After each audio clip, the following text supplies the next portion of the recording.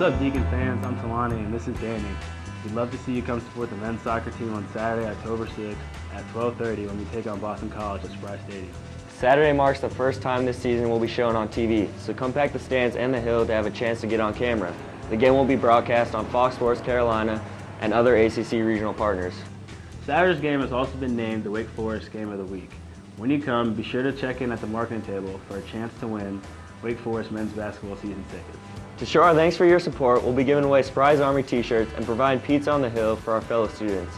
We'll be looking to stay undefeated in the ACC, and your support will help get us there. Once again, mark it down your calendars. Come watch the Wake Forest men's soccer team battle Boston College on Saturday, October 6th at 12:30. We'll see you there, and go, Go. Deacs.